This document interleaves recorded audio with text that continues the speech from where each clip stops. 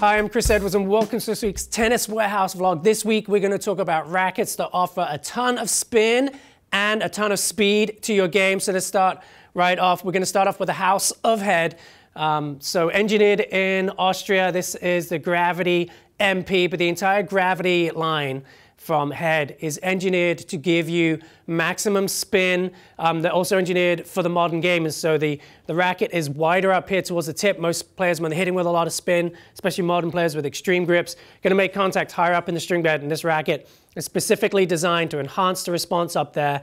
Um, they're really fast rackets. They've got a nice open face to them and a thin beam. And so that gives you a great spin window. That means you can come in with a very aggressive, aggressive angle of swing um, and you're not going to catch either the leading edge or the trailing edge of the frame. You're going to make contact with the string and get that ball really rotating quickly. They've got great feel to them too. I like to string them down low with a poly. Um, that really enhances the spin and that plush feel you get from the frame of the racket, that low tension really brings that out, I think. Uh, opens up the sweet spot nicely too. These are really generous hitting rackets, so the big sweet spot there. Again, string them low with a co-poly, you're going to get ton of spin, ton of pace, a great fit for the modern player. You've got the MP, the Tour, and the Pro, kind of my three favorite picks from that gravity line. Let's have a look at another head racket now. This is the Extreme MP. I also big fan of the Pro in this racket, which just offers a little bit more weight. Again, this is a really modern uh, player's racket. It's got that thick beam, you throw co-poly in here and it adds the control and enhances the spin that you need to get to control the power of that thick beam. Again, got a nice um, open string face, big open string pattern too, to really grip the ball and spit it out with a ton of pace and spin. Uh, this is a really forgiving racket, super easy to use.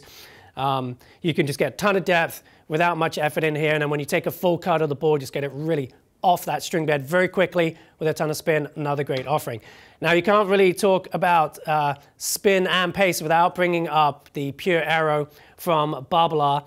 And I'm a big fan of this racket too, uh, much like that Extreme. This one's got that thicker beam, so you're gonna get a ton of pace again out of this one. You don't have to swing hard. I like the fact that I can defend very well with it. So when the ball comes in deep at me, I can just use that incoming pace and the inherent power in this racket to get the ball back with depth. And then when I do have time to take a cut of the ball, you can get monster spin and monster pace out of this one. Again, I'm a big fan of putting a uh, co-poly in all of these rackets, but if you put a multi-filament in, you're not gonna get quite as much spin, but you're definitely gonna get more comfort and more power out of them. So that's the Pure Aero. And then probably my favorite racket from the new Strike line is this 100. Um, big fan of this one. It's got a bit more mass to it on the swing, I found, than the previous Strike 100, so I really enjoy that. It's got a really nice feel to it too. Uh, Live enhanced the racket with what they call Pure Feel. And I definitely got that added connection to the ball out of this version. And uh, the 100 was my favorite just because it comes in with a little bit more mass. And I found all of the strikes doing that. And so this one just really hit the spec range for me. That's the Strike 100. Great offering right there from Babolat. Next up, we've got a racket that's loaded with feel. And that's the Clash 100 from Wilson. And this 100 is a nice, light, fast feeling racket. And so that's why I grabbed the 100, just because it comes around so quickly. And if we want to get a lot of speed and a lot of spin on the ball, this is a great way to go.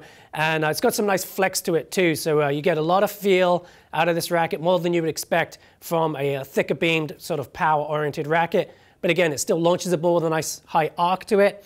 Um, and I think it plays great again with a low tensioned co-poly. But if you want to really up the feel, comfort and power, throw a multi in that one and you'll be good to go. Let's have a look at a racket from Yonex now. This is the VCore 100. Again, much in the, the line of what we've been looking at since we looked at the Extreme. This is a thicker beamed, more powerful, uh, what we call a kind of a tweener offering, but it's really a modern player's racket because uh, it's got that lighter weight, so you get the quick uh, swing speed, um, but it also, when you put a poly in it, uh, this is good for someone all the way up to the pro level.